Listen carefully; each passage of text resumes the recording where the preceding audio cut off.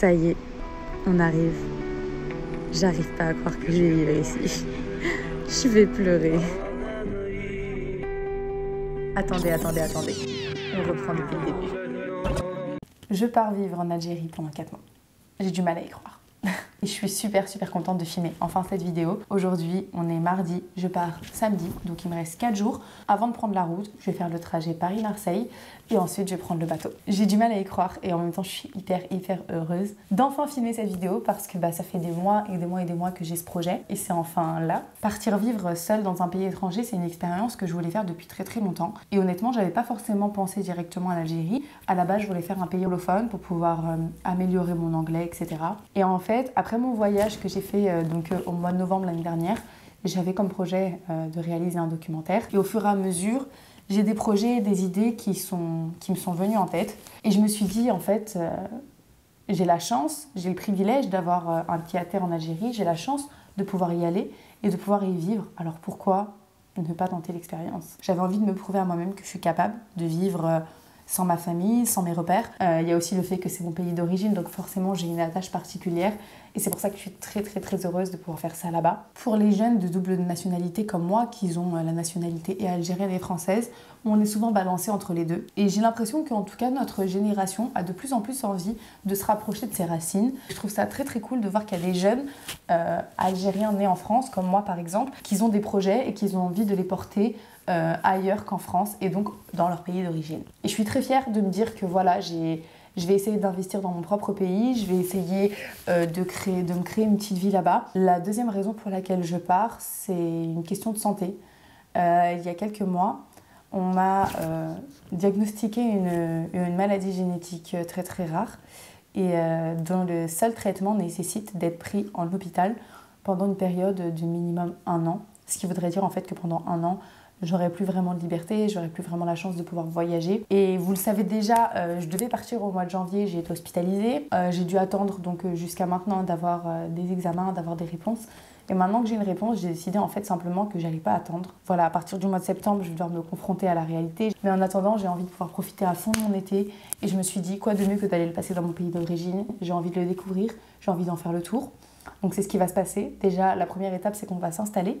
Donc je suis très très contente parce que j'ai un appartement euh, que mon père m'a laissé à Rahma, euh, qui est vide, dont on n'a pas encore eu le temps en fait depuis le Covid de s'en occuper.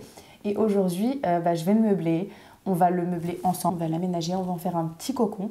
Ensuite, on va faire le tour de l'Algérie. Je vais faire au maximum pour partager ça avec vous. Et voilà, je suis, je suis très très heureuse, je suis très très excitée. J'ai un petit peu peur du trajet Paris-Marseille. J'ai mon petit frère qui vient avec moi et qui remontera tout seul ensuite en train. Voilà, Allez, c'est parti. J'ai plein de choses à faire, dont mes valises. Il est 7h30, c'est le jour J.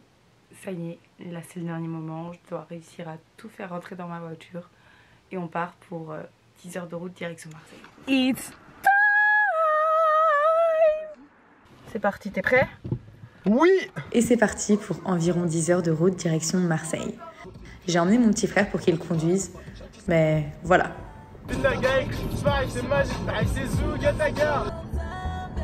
je conduis tellement bien qu'on est déjà au milieu de la France. Il y avait personne sur la route, donc on a fait ça en 7 heures. Et enfin, de loin, on aperçoit les énormes paquebots. La pression monte pour moi. On a passé notre soirée à Marseille, c'était magnifique. Et j'étais déjà trop heureuse de voir la mer. Maintenant, c'est parti pour une bonne nuit de sommeil avant de commencer le vrai voyage, seul.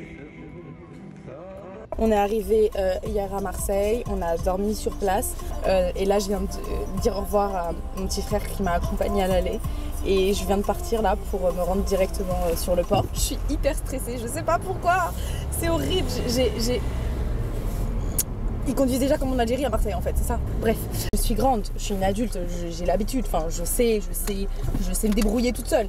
Pourtant, il y a quand même une grosse partie de moi qui a très très peur. En fait, j'ai peur d'avoir des galères, j'ai peur qu'il m'arrive quelque chose que je ne saurais pas gérer toute seule. Maintenant, c'est le but aussi de ce voyage, c'est d'apprendre à se débrouiller toute seule. Donc là, on va, on va se rendre directement à la gare, je vais enregistrer ma voiture et après, c'est parti pour le trajet. Je suis refaite. Mais j'ai trop peur. Mais je suis trop contente. Le taux de stress dans mon corps. Bon, ça y est, on arrive. Euh, je suis en train de faire la queue. Là, il y a plein de gens devant moi qui sont en train de patienter. Mon stress est un petit peu redescendu parce que maintenant je suis à l'heure, je sais que j'ai pas loupé mon bateau. Évidemment, j'ai prévu de vous emmener avec moi partout, hein, euh, comme d'habitude, comme pour mon précédent voyage. Euh, je vais essayer de vous filmer un maximum, je vais quand même y passer tout l'été. Donc, comme d'habitude, dans les commentaires sur Instagram, si vous avez des endroits à visiter, je suis en voiture et c'était le but pour moi, c'est vraiment de faire, si possible, le tour de l'Algérie en voiture. Je me pose vraiment la question de savoir si, en tant que fille toute seule, c'est un problème ou si c'est possible. Mais dans tous les cas, j'ai des cousins, je pourrais en ramener un ou deux avec moi s'il faut des hommes. Mais j'ai vraiment très très hâte. J'ai oublié de vous dire, Dieu il m'a donné, m'a donné plein de choses. Vraiment, alhamdoulilah. Mais il m'a pas donné la patience. C'est long. Ça y est, c'est réel, je pars. La dernière fois que j'ai pris le bateau, j'avais 8 ans. Et la seule chose dont je me souviens, c'est que ma sœur est tombée du lit superposé et s'est ouvert la lèvre. Ouais, pas top comme souvenir, mais bon. Dès que je suis arrivée sur le bateau, je me suis rendue directement sur le pont, mon endroit préféré. Ça y est, on dit au revoir à la France. À dans longtemps. Je sais pas si je vous ai déjà dit, mais je suis amoureuse de la mer. C'est mon lieu de guérison, du baume pour mon âme. Alors j'ai passé ma soirée sur le pont à regarder le coucher de soleil en attendant d'apercevoir la côte. Officiellement dans ma cabine. Donc j'ai pris une cabine privée, ça m'a coûté très cher, sachez-le. Dans les bateaux, il y a plusieurs possibilités. Soit vous prenez pas de siège du tout et donc vous restez debout. Donc j'ai vu des gens qui dormaient dans les couloirs, etc. Soit euh, vous... Euh, ça pingue un peu. Soit vous prenez un fauteuil, donc un peu comme dans un avion. Soit vous prenez une cabine. Moi je voulais le faire en fauteuil, mais étant donné que je suis malade, ma mère a refusé. Genre elle m'a dit si tu ne te payes pas toi-même une place, c'est moi qui la paye. Je montre la cabine. On a un lit avec un deuxième lit. De ce côté, on a une petite armoire et une petite salle, une petite salle de bain des familles. Très clean pour prendre une douche. Je vous reprends quand on arrive à Alger. Et enfin, la voilà. Alger la blanche, la majestueuse. Quel sentiment incroyable d'arriver par la mer. J'ai pas pu m'empêcher de penser à nos grands-parents qui ont fait le chemin dans le sens inverse déraciné. Évidemment, j'ai pleuré. Ça fait des mois que j'attends ça. J'avais l'air bien bête, mais bon, la fierté algérienne a défailli. Ça y est, c'est l'heure de quitter le bateau et de rechercher ma voiture. Ça fait officiellement 4 heures que m'attend à la douane là. Ils sont en train de vider les véhicules devant moi. Si jamais ils me demandent de vider ma voiture, je suis foutue les gars parce que je ne sais pas comment j'ai fait. Vous voyez Tetris? Ben voilà, c'est Tetris. En fait, s'il ouvre une portière, il y a tout qui tombe. Et je serais incapable de tout remettre toute seule. J'espère juste que ma tête va leur revenir et puis euh, qu'ils vont me laisser passer. Et oui, c'est très très long. Il est 18h20. Et ça y est, j'ai enfin quitté la douane. Là, dans deux secondes, je passe le dernier truc. Ça juste, il check, il tamponne mon truc et je peux sortir. Ça aura donc duré euh, pratiquement 6 heures. Faut avoir le cœur bien accroché. Coucou, je suis dans mon appartement. Donc euh, là, je filme à même le sol. Je suis désolée pour cette position absolument pas naturelle. Hmm. Qu'est-ce que je peux faire? En vrai, j'ai des trépieds. Hein. C'est pas, j'ai quand même, j'ai quand même un matos de fou malade, mais je, je préfère utiliser une bougie comme trépied. Voilà. La fois que je vous ai laissé, c'était à la douane. Euh, j'ai attendu environ 6h30. Donc il faut être vraiment très très patient. Euh, j'ai fait euh, une visite du bateau en 360 sur TikTok. N'hésitez pas à me suivre dessus parce que de toute façon je poste des vlogs quotidiens. J'ai conduit pour la première fois quand je suis arrivée à Alger. Et donc là ça y est, ça fait déjà 3 ou 4 jours que je conduis et je vous avoue que je suis super fière de moi. Super fière de moi pour deux choses. La première c'est d'avoir fait le trajet toute seule. Parce que je vous avoue que le Paris-Marseille, bon j'étais avec mon petit frère, mais le bateau ça reste quand même une expérience assez extraordinaire et à faire au moins une fois dans sa vie. Tout s'est plutôt bien passé pour moi, euh, à part le fait qu'il y a quand même eu un idiot qui m'a suivi pendant presque trois quarts d'heure sur le bateau, euh, sans venir me parler, hein, juste me suivre. Heureusement, euh, le personnel du bateau était au top, il y avait la sécurité partout. Mais de toute façon, je vous ai tout expliqué sur TikTok, donc n'hésitez pas à aller me suivre. Mais quand je suis arrivée à Alger avec le bateau et que de loin, on voyait le port avec la baie d'Alger, déjà j'ai pas pu retenir mes larmes. J'ai pleuré comme une comme une madeleine. Genre c'est n'importe quoi. Comme si je sais pas pourquoi ça m'a fait pleurer comme ça mais c'était personne pleurait. J'étais la seule à pleurer vraiment euh, sur le bateau avec les larmes comme ça. Et là actuellement je suis dans mon appartement. Donc je suis arrivée euh, ce matin avec euh, une amie qui reste avec moi pour euh, deux semaines. On a juste mis les tapis et euh, les matelas pour qu'on puisse au moins dormir ce soir.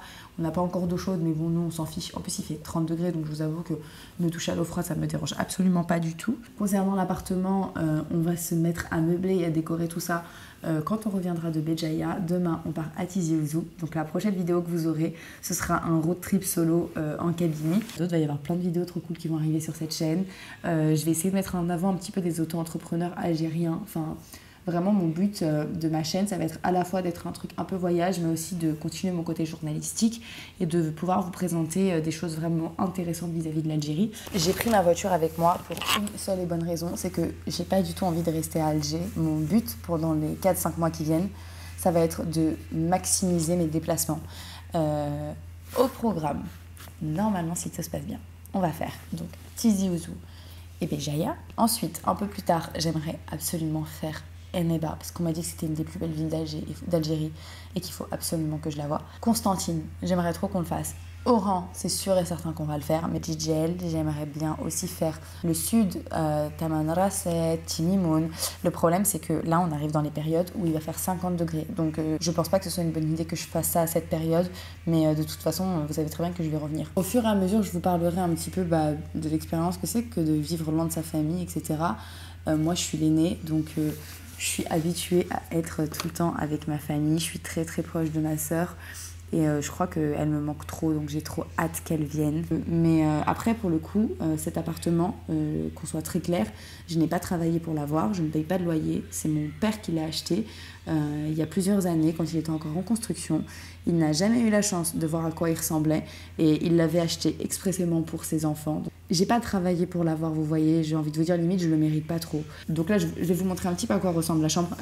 Je vous explique, il n'y a vraiment rien à part un matelas et un lit. Hein mais c'est déjà un bon début. Je vous montre.